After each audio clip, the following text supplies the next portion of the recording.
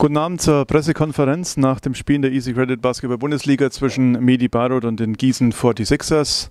Wir hatten 3228 Zuschauer und ein 89 zu 79 für Medi Bayreuth.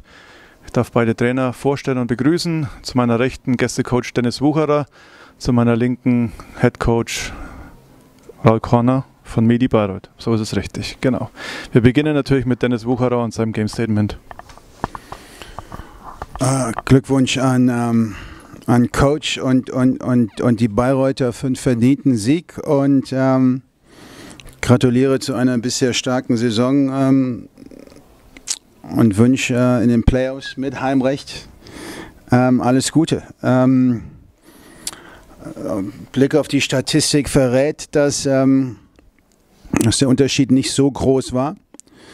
Ähm, Andererseits hatten wir eben keinen Steve Wachalski, der von der Bank kommt und vier Dreier reinwirft und ähm, aussieht wie ein, wie ein All-Star, weil wir ähm, zu naiv sind, ihm das, was er kann, wegzunehmen. Und wenn man erstmal mit acht oder zehn Punkten führt, dann, dann spielt es sich eben äh, deutlich einfacher und dann fallen eben auch mal Würfe rein, halb von der Mittellinie mit Brett, ähm, die vielleicht nicht fallen würden, wenn man es schafft, lange dran zu bleiben, die Partie eng zu halten.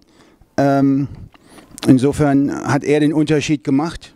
Ja, Hut ab, Naivität auf unserer Seite, nicht nah genug dran zu sein. Ähm, und insofern sind wir immer einem, einem Rückstand hinterhergelaufen und ähm, hatten im Endeffekt keine Chance mehr, ähm, dieses Spiel noch zu drehen. Dankeschön. Dann Raul, bitte. Ich hoffe, meine Stimme macht es noch. Also zunächst einmal danke für die, für die Glückwünsche und ebenfalls auf jeden Fall Riesenkompliment nach, nach Gießen. Wieder mal sehr beeindruckend, ähm, was Dennis aus der Mannschaft mit seinen Mitteln herausholt. Ähm, zum Spiel, äh, alles in allem denke ich ein sehr solider Sieg auf unserer Seite. Wir haben ähm, über eine gute Wurfquote, die daraus resultiert hat, dass wir den Ball besser bewegt haben als zuletzt. Ähm, das Spiel, denke ich, ganz gut kontrolliert.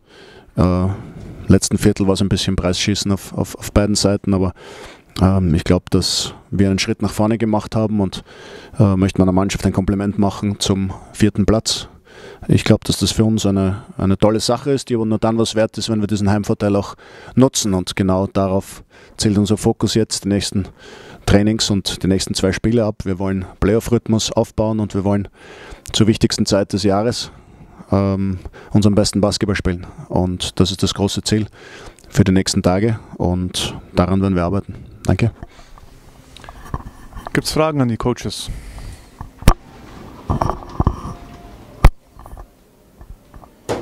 Dann auch nicht schlecht. Dann war es das und dann sehen wir uns in einer Woche gegen Bayern München wieder.